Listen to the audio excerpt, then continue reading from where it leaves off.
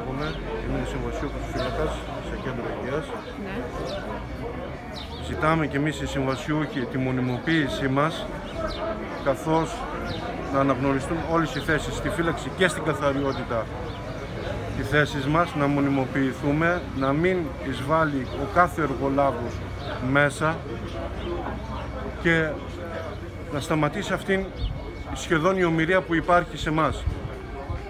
Όχι μόνο στη φύλαξη αλλά και στην καθαριότητα, αλλά και στο νοσηλευτικό προσωπικό, ώστε να έχουμε ένα καλύτερο σύστημα υγείας. Εμείς ζητάμε από την κυβέρνηση να αναγνωριστούν οι θέσεις μας για τον κόπο μας, για την πλάτη που βάλαμε μέσα στην πανδημία και βλέπουμε από μια κυβέρνηση θέλει να εισβάλλει μέσα εργολάβο ώστε να πετάξει έξω αυτούς τους ανθρώπους.